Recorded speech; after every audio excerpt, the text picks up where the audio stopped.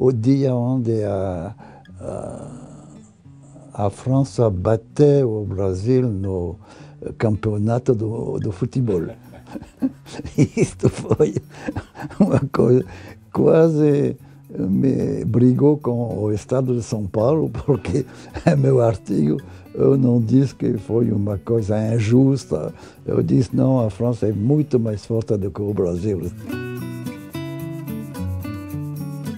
Eu nasci na França, mas meu pai estava oficial do exército, então foi nomeado eh, quando eu estava muito pequena, lá no, no Brasil, no, na Argélia, na cidade de Oran.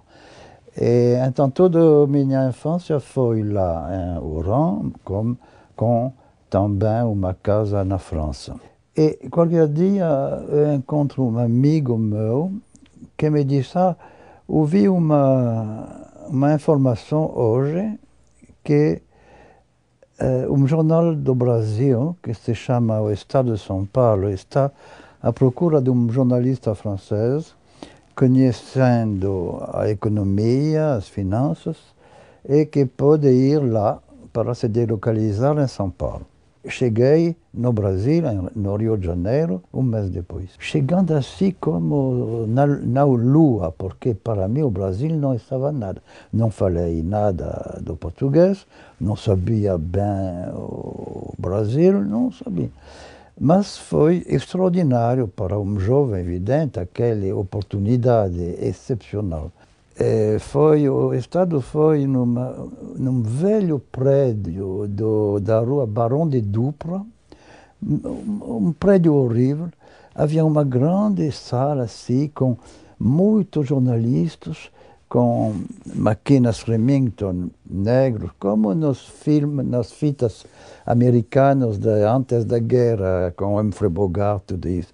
Todo mundo, para mim, foi uma coisa tremenda. Fiz um artigo, e o Dr. Júlio Mesquita Filho me chamou no escritório dele, ele leu, disse, isto, bom, pode ser. A França estava naquela época muito eh, assistida pela América com o Plano Marshall, de um lado, eh, a devaluação perpetual, inflação monumental, eh, dificuldades de vida, da vida cotidiana também para todo mundo. O racionamento das eh, comidas durou até o ano 1951, talvez seis anos depois do fim da guerra. Então é evidente, chegando no Brasil e vendo do Brasil só a façada, a façada elegante burguesa do Brasil, eu pensei que foi uma espécie de país, de, de, paradis, de paraíso, de, de, de jardim magnífico. Depois viu que depois, atrás disso havia uma miséria enorme, mas isto não, não, não, se, não pode se ver no começo, sobretudo em Copacabana, uhum. Ou no estado de São Paulo. No Rio foi comovente para mim, porque uh, fui no hotel no, na praia de Copacabana, exatamente, não o mesmo hotel, mas exatamente a mesma disposição que o hotel onde fiquei, eh, onde cheguei há 65 anos. E me lembro bem que há 65 anos, eu de manhã uh, abri a janela e vi aquele mar, aquelas montanhas e a gente que começa a chegar no, na areia. E foi para mim uma coisa, depois da, da guerra, depois de uma França muito triste, foi uma, uma imagem inesquecível. E, oh, e oh, há três dias, eu vi a mesma coisa e estava comovente porque eu tive a impressão que havia 65 anos de minha vida numa, num segundo lá na areia. Foi muito, muito interessante. Eh, eu, sobretudo se eu penso 50 anos, 60 anos atrás, quando cheguei lá no Brasil, é verdade que nos primeiros dias eu vi um país mais rico da Fran do que na França, mas logo que deixei aquele pequeno pedaço do Brasil muito evoluído, mais evoluído do que na França, eh, cheguei no, no, terceiro mundo, no quarto mundo também. E absolutamente ao contrário da lenda do Brasil, da lenda no exterior do Brasil, porque eh, para um francês o Brasil é o país da, eh, da ternura, da gentileza, de, da amizade. É verdade que se você vai eh, no Rio, a gente é muito mais gentil do que, por exemplo, em Paris. O último livro do, do Gilles, o, que é o, o Burro e a Abelha, ganhou um prêmio, um prêmio da Academia Francesa, não é isso? Sim. É, por que essa ideia de juntar dois bichos tão diferentes como, como o burro e a, e a, e a abelha? É, é, isto, a razão mesmo do livro é uma espécie de exercício de de humor mais sério para encontrar entre aqueles dois bichos que não têm nenhum ponto comum, um ponto comum. Então, uh, afinal do, do livro, é uma espécie de livro policial, porque eu sou à procura de uma resposta. Afinal, eu fiz, eu descobri que tem um único ponto de comum, e o mais esquisito, aliás, o mais estranho, é que os dois fazem parte dos poucos animais, muito poucos, quase eles só, que têm o direito de fazer amor com uma pessoa de uma outra espécie do que ele mesmo. Ah, sim? É, o burro faz amor com a jumenta e faz a mula. Bom, então, isso é extraordinário. Não somente ele pode fazer amor com pessoa de uma outra família, mas faz criança. E ela faz amor ao flor. E, de fato, faz amor ao flor. Uh, os, os, sábios agora sabem que a flor se uh, faz muito bela para atirar uh, a abelha. É, como uma, como uma senhora. A mesma coisa. Como uma moça que... Exatamente. E faz, faz as flores que pode, graças à abelha, as flores podem renascer. E, aliás, tem um grande problema hoje, porque uh, a abelha desaparece por Sim. causa dos inseticidas, dos pesticidas, e tem um problema grave de, para polinizar, quer dizer, para fazer o amor, polinizar as flores. A tal ponto que na França, acho na América também, na América do Norte, aqui não sei. Uh, Era um problema, né? Tem um grande, e tem ele, ele uma grande preocupação, né? Para, para tomar a ruche e ir nas campanhas diferentes para fazer uh, a, a, pollinisation.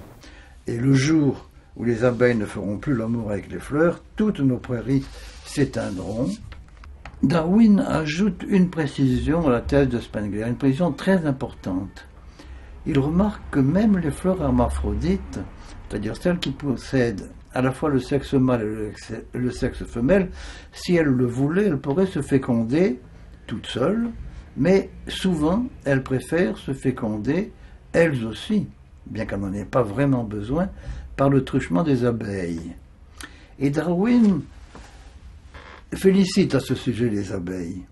Il dit elles ont compris bien avant les hommes, qui eux n'y comprennent rien, elles ont compris que la nature a besoin pour se perpétuer et pour s'embellir de mélanges, d'échanges, de guerre, de rivalité, d'érotisme, ce que nous appelons aujourd'hui la biodiversité. Mas a gente, por exemplo, na França começa a conhecer, a compreender que o Brasil tem uma grande cultura, uma cultura de alto nível, cultura de, bom, música evidente, a gente sabe há muito tempo, uhum. mas agora começa a saber que tem grandes escritores, que tem grande uma febre, efervescência uhum. cultural uhum. absolutamente uh, única no mundo, talvez. Eu sou muito contente de, de, ter chegado no Brasil naquela época, 1950.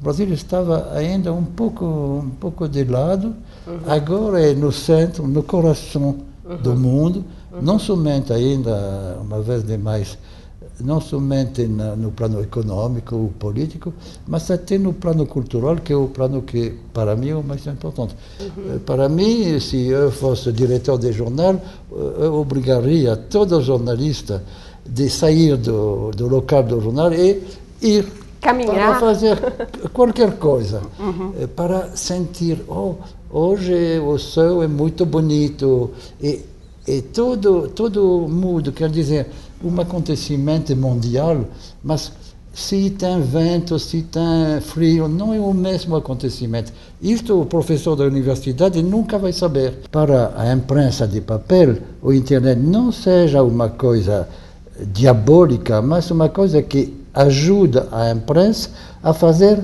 um, um, eh, um progresso. Uhum. Quer dizer, a deixar para a internet a coisa que me, que me interessa menos, eu, por exemplo, a informação imediata para aquela informação imediata, o internet tem um poder que os jornais não podem enfrentar. Mas é uma informação que está absolutamente bruta, que está estúpida, porque não há profissionais, jornalistas, que dizem esta, aquela informação é importante por, por tal razão, tal razão, tal razão aquela informação não podemos deixar, não tem nenhum interesse. Então, o internet dá na cabeça da gente uma espécie de espetáculo completamente louco, caótico, que ninguém mais entende. E me parece que o jornal agora tem aquela missão de dar um pouco de ordem, de ordem de, ordem nesse de razão, de informação. De, é, de estrutura. Mas o jornalista é aquele homem que está entre o povo, entre o, o povo, a, a, realidade cotidiana e o mundo das ideias. É uma espécie de, de tradutor.